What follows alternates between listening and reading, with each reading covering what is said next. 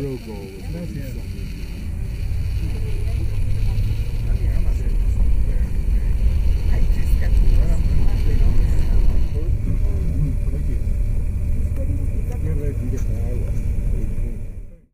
Hi, this is Brien Foerster, and I've been pursuing the phenomenon of elongated skulls and cranial deformation of humans for about eight years, mainly because there seem to be no academics whatsoever that are studying this phen- uh, phenomenon, which I found completely bizarre. I was sent photographs about three years ago of a very huge elongated skull located in an obscure little museum in a village called Patapatani, somewhere on the shore of Lake Titicaca in Bolivia. And earlier this year, I was able to finally get there with Antonio Portugal, a famous author from B- Bolivia. And so this is us returning to this site once again, this time with an American neurologist. And so I think you'll find his views and opinions quite intriguing as we explore on the Altiplano of Bolivia. Thank you so much for watching my videos.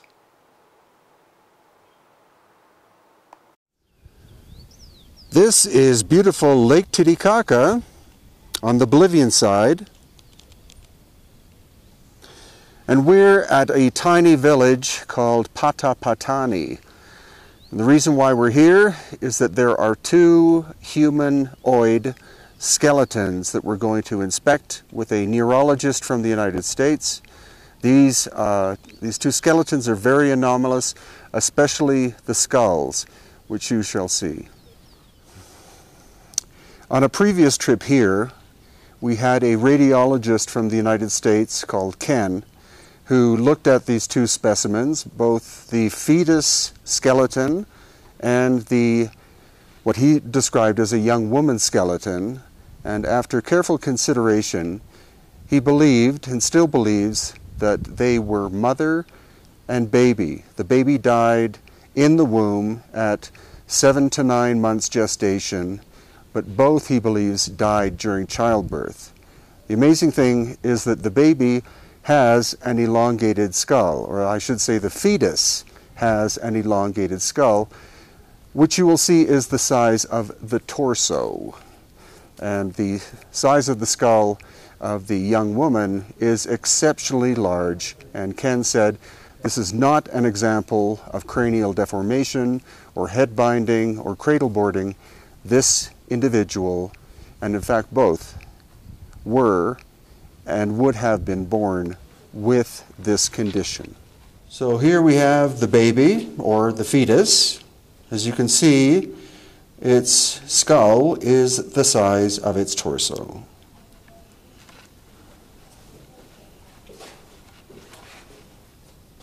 This is not hydrocephaly.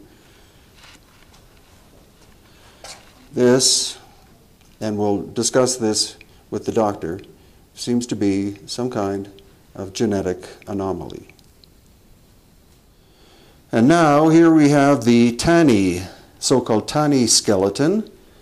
According to radiologist Ken, this was a young woman who died between 8 and 12 years old.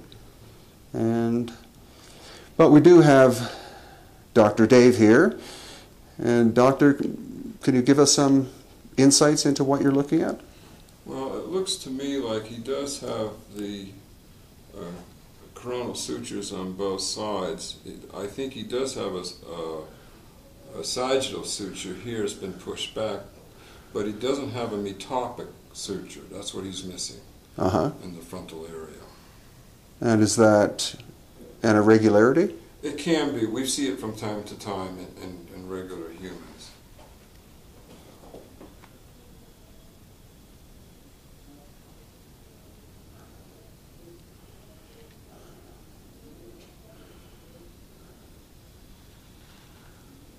And how about the shape of the skull? Do you think this is the result of head binding? I can't. Uh, I can't say for sure. Um, it, it looks like it is.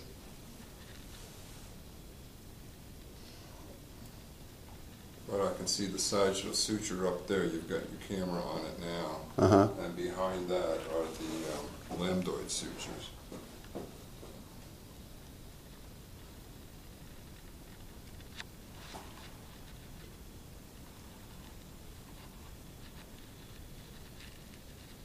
So, Dr. Dave, you are a neurologist. Correct.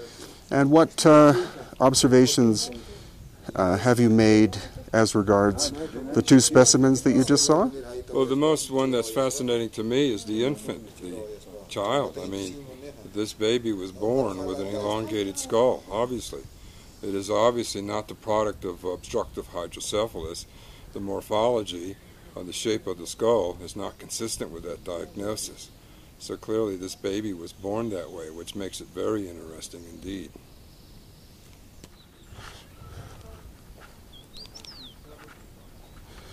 So there you have it. So far, we've made two trips to this little museum at Patapatani.